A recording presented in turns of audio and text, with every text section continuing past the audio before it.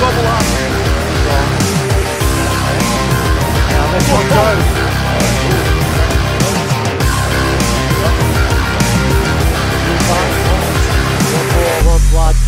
Arte, big save.